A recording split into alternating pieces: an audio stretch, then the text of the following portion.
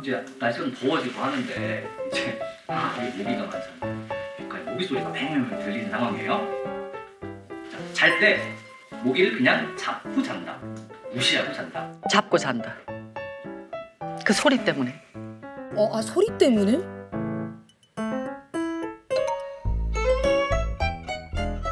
어, 그거 안 들려요? 그 들릴 텐데 이거 엄청 세잖아요. 그 주파수가 오, 잘 때 약간 그런 소음 들리시는 거 좀 민감하신가 봐요. 네.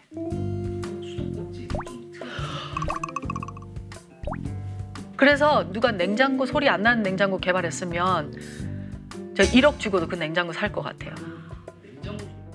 어. 아 그 냉장고 소음도 되게 어. 예민하게. 이 얕은 전기 소리 있잖아요. 뭐 뭐 켜놓 이 꽂아 놓은 소리 그런 거 주변에 없 없어야 돼요. 예.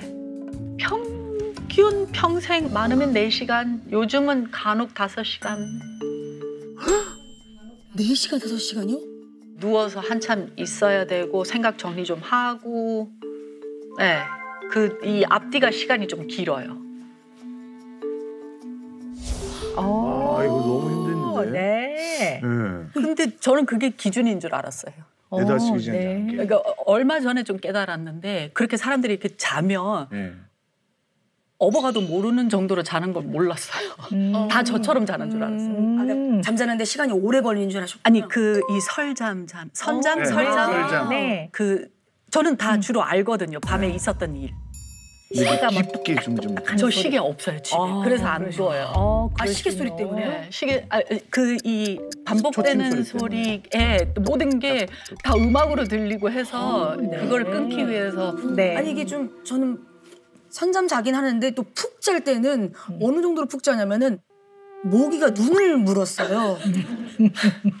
그 아기 때나 눈에 물리는 거. 아기들은 정말 확 기절하잖아요. 그 작년에 물렸거든요. 여기까지 왔다는 거는 진짜 그럼 우리가 얼마나 예민한지 우리 한번 다 같이 한번 확인을 좀 해볼까요? 음. 지금 저희가 준비해 온 게 있습니다. 네. 아, 청각 예민도 테스트. 네.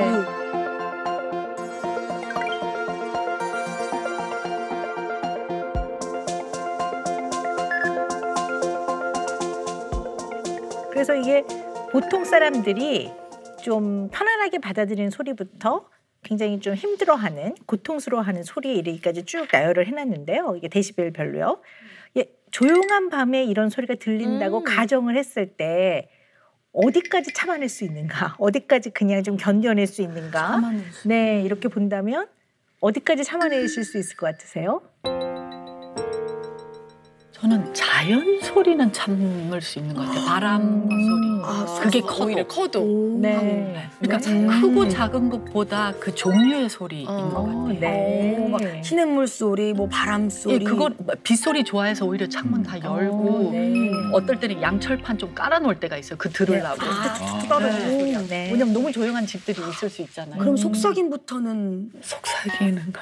아, 사람 그러니까 맞아요. 전기 소리. 음. 그 다음 바로 냉장고거든요, 선생님. 어. 속삭임 다음이 냉장고. 냉장고. 네. 그럼 30데시벨부터는 안 되시는 거네. 어, 우리 나래 씨는 어디까지 견뎌 참을 수 있으세요?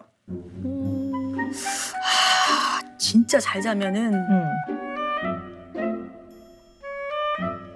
헬리콥터까지는 될 것 같은데. 헬리콥터? 왜냐면 그러니까 제가 이거 몰랐어요. 헬리콥터 소리를 이게 듣기가 쉽지가 않잖아요. 저희 엄마 집에 그 오랜만에 갔는데 저희 지역이 섬이 많으니까 섬에서 오는 의료용 음. 그 헬리콥터가 그 앞에 그 어. 내리는 곳이 있더라고요. 근데 잘 잤어요. 푹 잤어? 푹 잤어요. 어. 음.